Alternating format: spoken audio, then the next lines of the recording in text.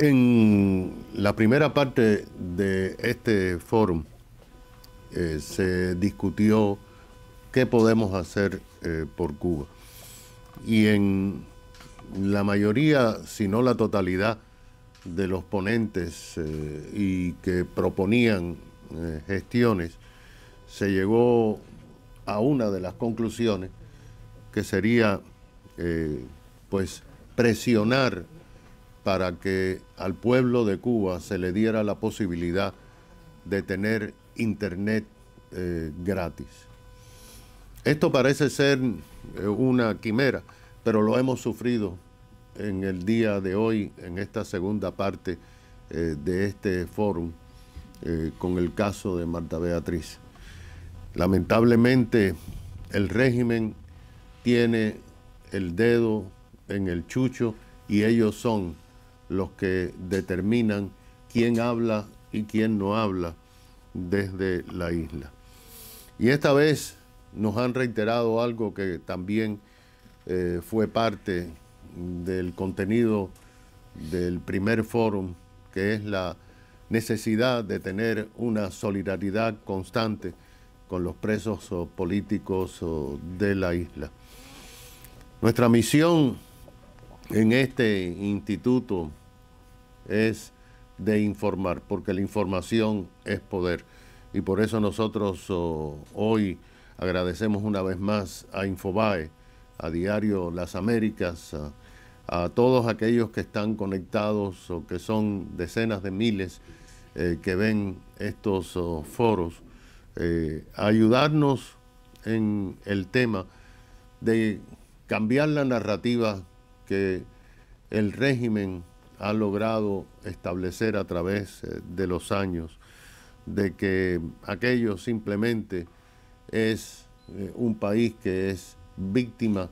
de un imperio y no una nación de esperanzas pospuestas desde hace 65 años. Yo creo que la tercera parte nos va a enseñar eh, qué más podemos hacer por Cuba y nos lleva eh, a que nos acostumbremos continuamente a levantar nuestra voz de denuncia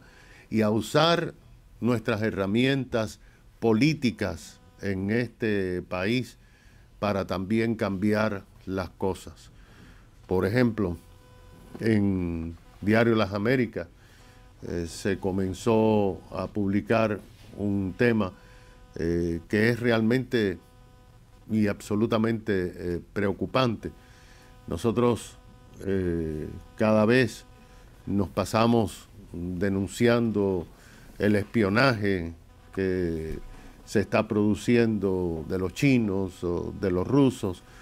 en la prensa pues nacional e internacional eh, se denuncia y se detalla este tipo de gestión y sin embargo el espionaje cubano ha pasado a un segundo, un tercer plano y es un espionaje que hace daño. Así lo demostró un extenso reportaje de 60 minutos eh, que se publicó en la cadena nacional CBS y nos encontramos con una sorpresa de que agentes eh, de la supuesta aduana eh, de Cuba recibieron en estos días una gira muy detallada por el Aeropuerto Internacional eh, de Miami. Desgraciadamente, sin el conocimiento del director del aeropuerto, sin el conocimiento del gobierno condal, que es el que maneja el aeropuerto, porque recibieron una orden directa eh, los directores de la TCA, de la Casa Blanca, de que tenían que darle la bienvenida a esta delegación y mostrarle hasta eh, los protocolos de seguridad extrema que tienen en el aeropuerto para que ellos pudieran eh, ponerlo en práctica en Cuba. Me parece que esto es una burla eh, al exilio cubano y me parece que eh, tenemos que tener una respuesta más agresiva y que se vea que nosotros no vamos a quedarnos callados con que permitan este tipo de injuria eh, al exilio cubano. Pero básicamente hoy lo que queremos hacer es entregar un reconocimiento que quedó pendiente el día 6 de diciembre del pasado año, cuando el Instituto Interamericano realizó su entrega anual de reconocimiento justamente eh, bajo el lema del premio Carlos Alberto Montaner, nuestro eh, presidente por tantos años eh, de este instituto que nos había dejado. Y allí quedó uno que tiene que ver con la libertad de expresión. Como decía nuestro director y fundador, Carlos Sánchez Berzaín, este premio fue otorgado después de muchos meses eh, de análisis por parte de todo el directorio de este instituto a Iván García Quintero. Él en aquel momento pues estaba como dicen eh, muchos en la isla regulado. Eh, simplemente es una de esas palabras inventadas por el régimen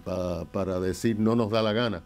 que pueda salir de nuestro país pero al fin, por un tema familiar, eh, pudo llegar aquí.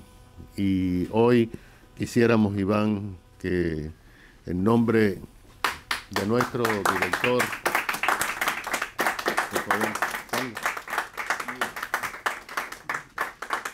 que recibas, que recibas ese premio que tiene un nombre, que tiene un nombre de alguien a los cuales eh, los cubanos del exilio eh, le debemos un reconocimiento permanente, que es el doctor Horacio Aguirre Vaca,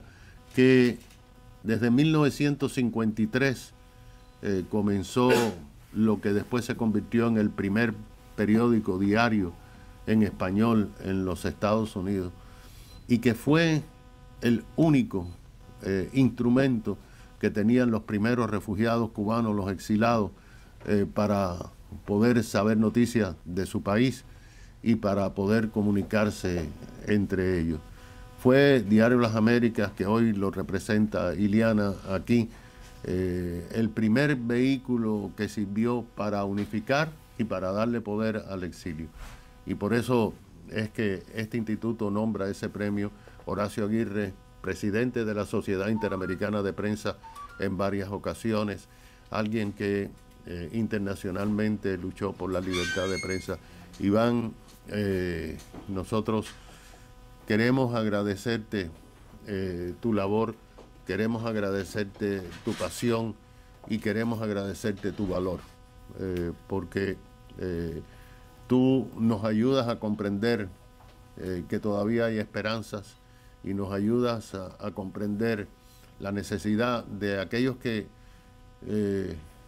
pues hemos vivido aquí más de 60 años, eh, sigamos nosotros, nuestros hijos y nuestros nietos, eh, para que no solamente Cuba sea libre, sino que Cuba también pueda decir aquella frase tan famosa de los judíos, nunca más. Así que muchas gracias por estar aquí.